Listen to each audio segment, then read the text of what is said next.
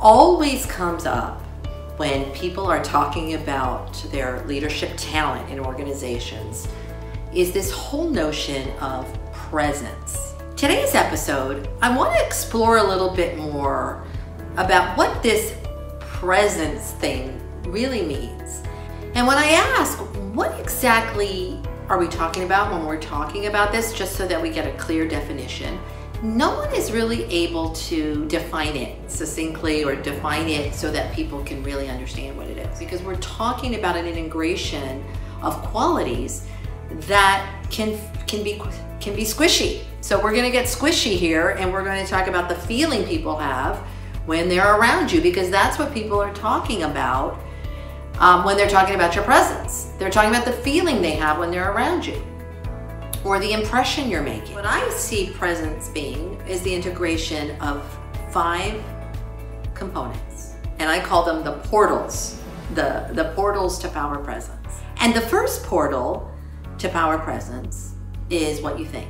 All the thoughts that are going on around in your head make up how you're going to come across. So whatever it is I'm thinking, energetically that will show up in my body, it'll show up in the way I'm projecting myself. And people are energetic beings and they pick up energetic cues. So that's the one portal, is what we think. The other portal is what, how we appear. How we appear is important. People see you and they're forming an impression. And whether we like it or not, the reality is we form impressions based on how people appear being intentional about that appearance and how we, the appearance we want to project. What's the impression I want to convey with my appearance uh, is a critical component of a powerful presence. The third portal of power presence is what we say. Here's the thing about this. People are not inside your head. I know we think that people can read our minds, but they can't. And all they know is what we say and what we do. And I'll get to what we do as another portal in a minute. But what we say is what people see that of things that are coming outside of our head. So all the intentions we have, all the motivations, all the reasons why I'm saying this, people don't see it. What we say, how we say it, the tone we use, the confidence in which we say it, all of those things impact the presence that we're conveying to others. The fourth component of power presence is what we do. What we do, our actions convey our presence.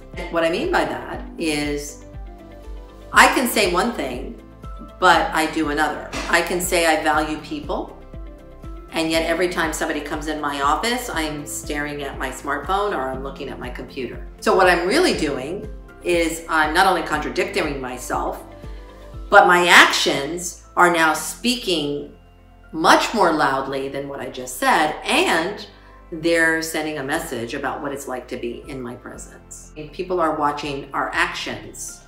They're watching what we're saying, but they're also watching the actions and these things integrate. They're not separate.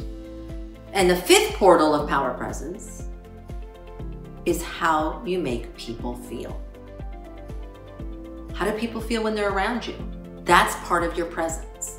Do people feel exhausted after they've talked to you uh, because every statement you've made is a negative one? How you make people feel is a big piece of what it's like to be in your presence. But When you combine those five portals and you, you take the, all five of those things, if you, you take what you think, how you appear, what you say, what you do, and how you make people feel, and you put them together.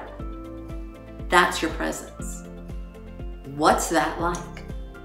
What's that like in interacting with you? What I really focus on when I'm talking about presence is that you're in charge of that. You are in charge of your presence. And what we do is we are, I mean, we're inside our heads. And so we're just reacting to our environment most of the time. And we're not really giving too much thought to what do I want people to feel when they're in my presence? How do I align my actions and my words so that they're in sync? How do I choose the words? How do I choose the actions that are most in alignment with my most powerful self? And how do I choose the thoughts that I want to be thinking that are most in alignment with the person I want to be? That's power presence. When you're in the place of learning to choose who you are, no matter how long you've been a leader, we all can use a little help in working on the power of our presence and what it's like to be in our presence, because that really is the crux of leadership.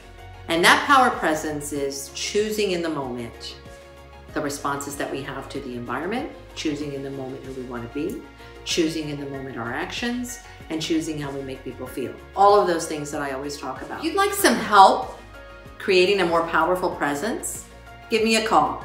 Whether you're moving into a new position or you've been in a leadership position for a very long time, I can help you really think about and reflect upon these five portals, uh, do a self-assessment uh, on these areas for yourself, and come up with a plan to create a more powerful presence as a leader. Thanks for watching. And always remember this, every single moment you have a choice in what you say, what you do, and how you make people feel. Pause and make those choices intentionally and wisely because every single moment, those choices are who you become.